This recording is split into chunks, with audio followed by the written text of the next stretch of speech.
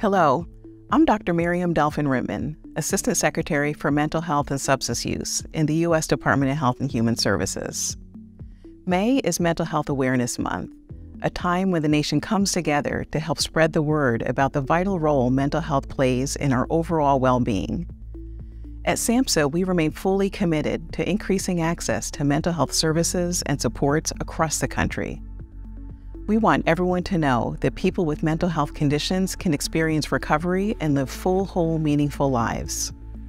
And we can all play active roles in caring for our mental health. Practicing self care, asking for help when needed, and checking in with ourselves and people around us all can make a difference. If you're looking for services in your community, visit our new online resource at findsupport.gov.